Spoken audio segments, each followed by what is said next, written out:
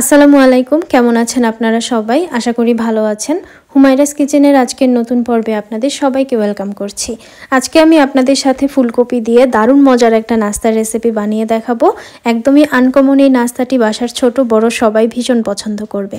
আপনারা এটা ঝটপট বানিয়ে বিকেলে চায়ের সাথে পরিবেশন করতে পারেন। এখন তো নতুন নতুন ফুলকপি পাওয়া যাচ্ছে। যেভাবেই বানান না কেন, দারুণ মজার লাগে। আশা করি আমার আজকের রেসিপি আপনাদের সবার কাছে অনেক ভালো লাগবে। চলুন তাহলে দেখে নেই আজকের রেসিপিটি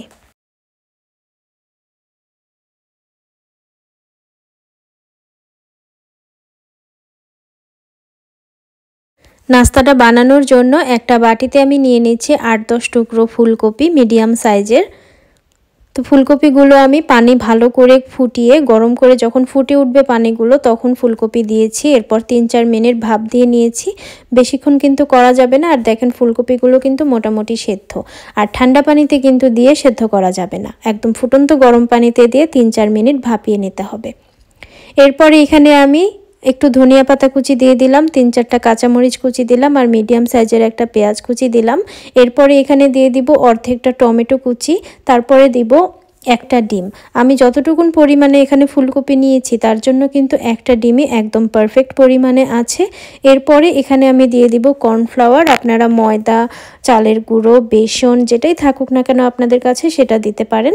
আমি এখানে কর্নফ্লাওয়ার দিয়ে দিল, দিয়ে দিচ্ছি তিন চার, পাঁচ চামচ পরিমাণে, তবে খুব বেশি দেওয়া যাবে না, যেন ফুলকপির অরিজিনাল টেস্টটা পাওয়া যায়, এরকম করেই দিতে হবে। লবণ দিয়ে দিলাম হাফ চামচ পরিমাণে। তারপরে দিয়ে দিচ্ছি ধনিয়ার গুঁড়ো হাফ চামচ পরিমাণে। হাফ চামচের থেকে একটু বেশি দিয়েছি। এরপরে দিয়ে দিচ্ছি চাট মশলা পাউডার। এই চাট মশলা পাউডার দিলে কিন্তু খুব বেশি আর মশলার দরকার হয় না। এরপরে আমি সমস্ত উপকরণ ভালো করে হাত দিয়ে মিক্স করে নিচ্ছি। ফুলকপিগুলো ভালো করে ডিম তারপরে কর্নফ্লাওয়ার, মশলা সব কিছুর সাথে মিক্স করে নিতে হবে। আর এটা কিন্তু খুব বেশি ঘন হবে না। তো এরকম করে যখন মিক্স করা হবে, তখন যদি মনে হয় যে আরেকটু কর্নফ্লাওয়ার বা ময়দা লাগে, তখন আমি আরেকটু কর্নফ্লাওয়ার দিব, কিন্তু প্রথমে অল্প করেই দিতে হবে। বেশি করে কিন্তু দেওয়া যাবে না। তো এখানে আমি আরও একটু কর্নফ্লাওয়ার দিয়ে দিব, যেন ব্যাটারটা আরেকটু ঘন হয়। খুব বেশি ঘন কিন্তু করা যাবে না।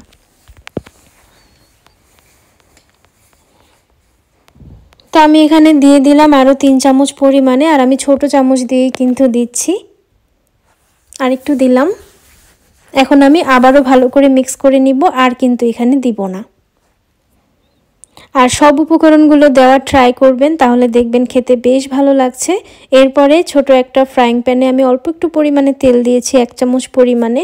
তেলটা যখন ভালো করে গরম হয়ে যাবে, তখন এই ফুলকপির মিশ্রণটা থেকে চামচ দিয়ে নিয়ে আমি এখানে দিয়ে দিব। তো দেখেন এভাবে দিয়ে দিচ্ছি। তেলটা যে ভালো করে গরম হয়েছে, এটা কিন্তু বোঝাই যাচ্ছে। ঠান্ডা তেলে দিলে ভেতরে তেল ঢুকে যাবে, খেতে খুব বেশি ভালো লাগবে না। গরম তেলে দিতে হবে, তাহলে এটা খেতে খুব ভালো লাগবে। একটু শেপ করে দিচ্ছি যেন দেখতে সুন্দর লাগে সেজন্য। এভাবে আপনারা সবগুলো এভাবে বানিয়ে নিতে পারেন।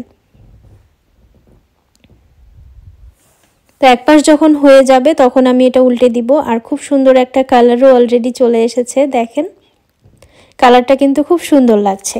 বিকেলবেলা চায়ের নাস্তায় আপনারা এটা পরিবেশন করতে পারেন। টমেটো কেচাপ দিয়ে, সালাদ দিয়ে সব কিছুর সাথে এটা খেতে খুব ভালো লাগবে। তো দেখেন আমি আরও একটু কালার করে নিচ্ছি যেন খেতে এটা বেশি ভালো লাগে, দেখতেও সুন্দর লাগে। ছোট থেকে বড় সবাই কিন্তু খুব পছন্দ করবে। তো আমি তুলে নিলাম, পরবর্তীটাও আমি একইভাবে ভেজে নিব। আর তেলটা ভালো করে, অবশ্যই ভালো করে গরম করে তারপরে দেবেন, তাহলে দেখবেন অল্প তেলেই কিন্তু খুব সুন্দর করে ভাজা হয়ে যাচ্ছে। আর যেহেতু ফুলকপিটা অর্ধেকের বেশি সেদ্ধ করাই আছে সো এটা হইতে খুব কম সময় লাগবে।